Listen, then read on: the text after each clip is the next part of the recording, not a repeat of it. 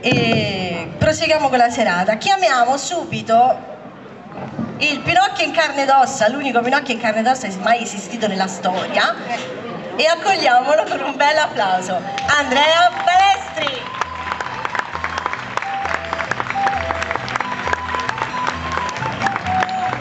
Buonasera, buonasera a tutti. Siamo tanti, dai, cose da dire ne abbiamo. Intanto accomodiamoci Quando Andrea. torniamo qui è sempre un certo effetto, molte Che effetto emozioni. fa? Che effetto ti fa Eh, tornare sai, qui? anche oggi abbiamo rivisitato il borgo, sono riandato, non è la prima volta che torno qui perché, eh, però ogni volta che si viene qui a Farnese c'è un'aria magica, un'aria, non lo so, forse Farnese è proprio, è proprio il paese della favola e quest'aria eh, di favola si vive, si vive con voi e si vive nei posti dove Comencini è riuscito a fare questo, questo capolavoro. Qui hai girato 20 giorni, quindi insomma ti è rimasto abbastanza impresso questo paese, alloggiavi qui, hai fatto amicizia con tante persone, oggi ti- anche ti hanno salutato quelle persone con, ca- con affetto. Ormai quindi diciamo c'è. Ti senti di casa, diciamo. Sì, mi sento di casa, c'è un ottimo rapporto fra me e gli abitanti di Farnese.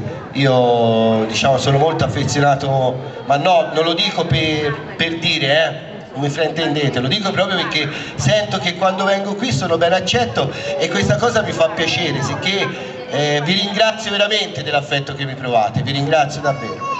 Benissimo, allora, e con questo applauso io direi di iniziare proprio a proiettarci in quell'atmosfera magica di 40 anni fa con un brano eseguito dalla banda musicale Santa Cecilia di Farnese, diretta sempre dal maestro Eugenio Marchiò per gli arrangiamenti del professor Gianfranco Stefanoni, che eseguiranno il brano Il tema di Lucignolo, proprio la sigla iniziale dello sceneggiato. Musica maestro!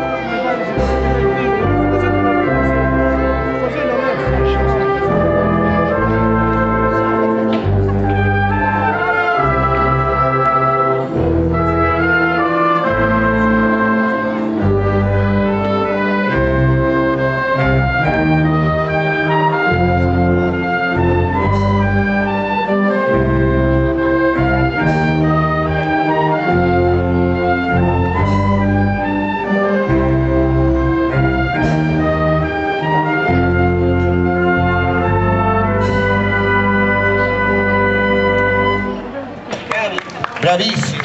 Bravissimi, complimenti, veramente un'atmosfera magica. Anche il burattino sembrava incantato da questa musica. Ricordiamo che il burattino è una creazione di Oscar Tirelli, ma è stato concesso gratuitamente questa sera per noi dal collezionista Luigi Zampieri che ci teniamo a ringraziare perché è stata una sua donazione spontanea. Dunque, eh, a questo punto io direi Andrea, ehm, da dove nasce questa tua esigenza di raccontare questa tua esperienza che io so in un libro? Tu hai scritto un libro autobiografico e contiene tantissime notizie, curiosità e foto di scena. Perché hai deciso di eh, voler appunto scrivere questo- questi tuoi ricordi proprio dopo tanto tempo? Bravi. Bravi, bravi. Sono bravi, eh? Beh, eh, fatele un bel applauso, Un dai. applauso, un applauso. Ve lo faccio anch'io, bravi davvero. Mi ha commosso questa musica. Niente, questa l'idea è nata perché eh, forse mi sono svegliato anche tardi perché forse queste cose le devo fare quando ero un po' più, po più giovane sono giovane anche ora, però insomma un po' d'anni ne è passati di più. Però niente, perché praticamente questo film che Luigi Comencini è riuscito a creare, a fare, eh, diciamo, ehm, è un film che a distanza di 40 anni piace sempre. Eh, la gente è innamorata di questo film qui, come lo sono innamorato io, come eh, milioni di persone. Pertanto ehm, l'idea del libro è nata perché un mio amico Stefano Garavelli, che diciamo che insieme a me ha scritto il libro, il coautore del libro. Sì, il titolo è Io il Pinocchio di Comencini. Io il Pinocchio di Comencini, eh, aveva un sito dove tante persone, ma tante, guardate, eh, gli scrivevano facendogli delle domande, eh, per esempio dove era il posto che era stato girato, che fine aveva fatto la balena, eh, di cosa era fatto, come era fatto il Pinocchio e Stefano si mise in contatto con me dicendomi che c'era appunto questo interesse, queste domande queste, su questo sito che lui aveva creato.